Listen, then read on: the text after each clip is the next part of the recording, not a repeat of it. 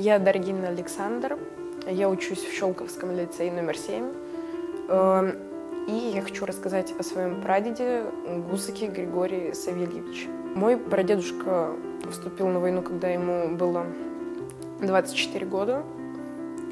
Э, на тот момент он преподавал физику в университете, э, но в такое достаточно мирное время война пришла, и пришла она неожиданно.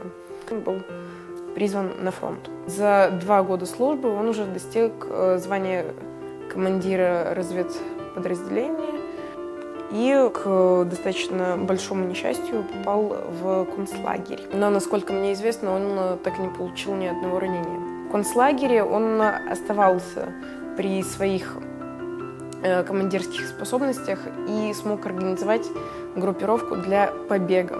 Побег оказался удачным, за что он получил орден Красной Звезды. После э, всей войны он продолжил э, преподавать физику, но уже в военном институте и уже офицером. Насколько мне известно, он не очень любил поднимать эту тему. Он очень хотел, чтобы его дети э, были э, дальше от этого и были счастливы от того, что сейчас этого не происходит.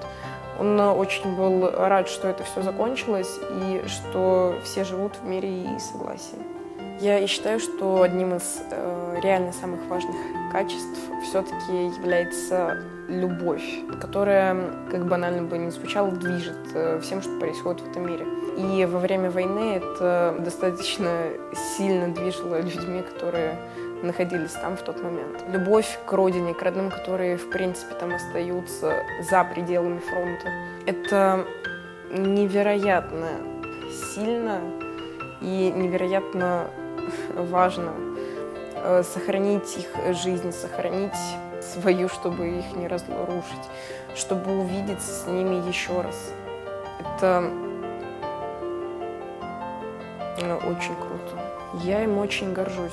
Э, подобный подвиг совершить, я считаю, может далеко не каждый, тем более во время, которое мы сейчас живем. Для меня это реальный повод задуматься и пытаться вести себя так же смело, когда у тебя есть такой пример.